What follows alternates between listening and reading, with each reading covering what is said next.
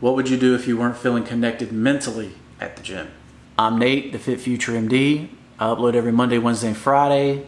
Show you how to lose 30 pounds in 30 days, and I document losing, going from 308 pounds to 250 pounds. Make sure you follow along. Make sure you get that free nutrition and workout plan in my bio. Hope it helps you. So, what would you do if for some reason your body just wasn't connected mentally at the gym, right? So the first thing I'm going to do is I'm going to check my sleep, right? Your body cannot recover without sleep. So if you're not sleeping well, um, for some reason you got a lack of sleep, or you're having like so for me, you know, I run Ensorsale, so sometimes, you know, I'm only sleeping five or six hours a night. And, I, and if I do that for two or three weeks straight, you know, I'm going to need a REM recovery day. So I need to sleep eight to 10 hours, you know, just to recharge my brain so that, you know, I'm mentally there. Right. And some people, you know, they need 10 or 12 hours of sleep, especially in the winter, you know, when you're not getting the sunlight and your vitamin D levels are low. You know, sometimes if you're not getting that sleep, you won't have that mind muscle connection, you know, where you can concentrate on hitting that muscle that you're trying to work, right? Second thing, you know, if I'm already getting a, that, that good number of sleep, I'm just going to take a rest day, all right? I'm just going to take the day off. I'm not going to do any cardio not gonna do any abs. I might stretch really well. I might get a massage. Um, most of the time, I we use massagers, right? So electric massager, you know, hit the muscles that are sore. You know, make sure you're getting you know really stretched or really flexible.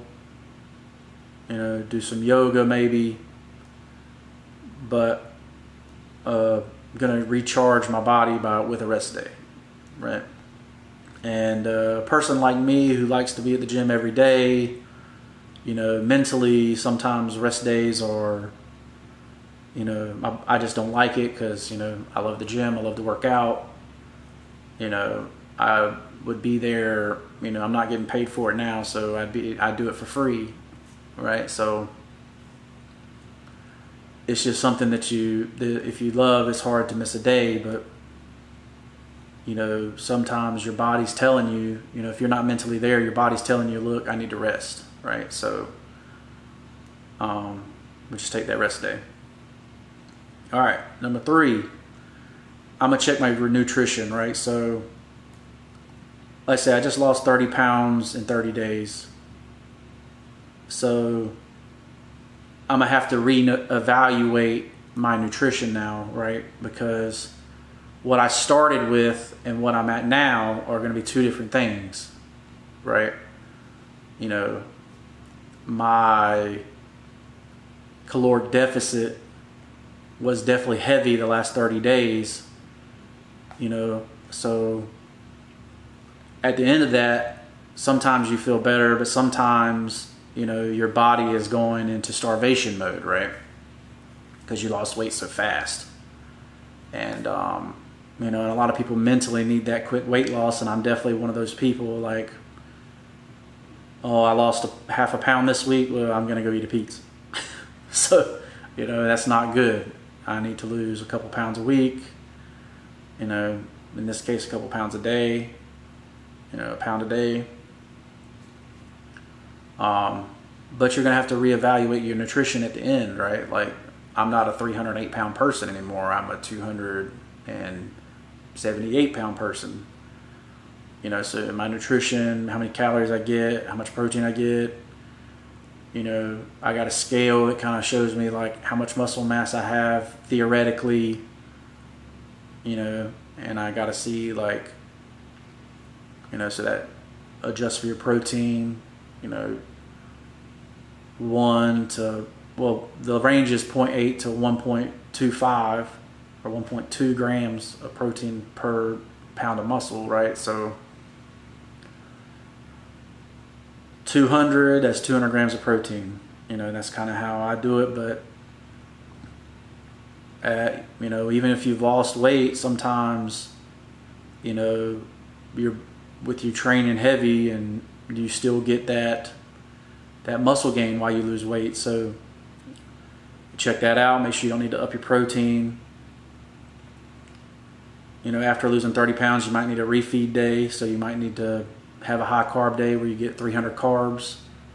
You know, you, you drop your protein that day and get 300 carbs. So it's the same calories, but you're just hitting your body with some carbs like you found some fruit in nature or something, you know. Um, so definitely check your nutrition. You know, if your mind muscle connection is not there, you know, your brain may just be calling for glucose, right? You know, your brain just may be starved. So definitely just check your nutrition. You might need a refeed.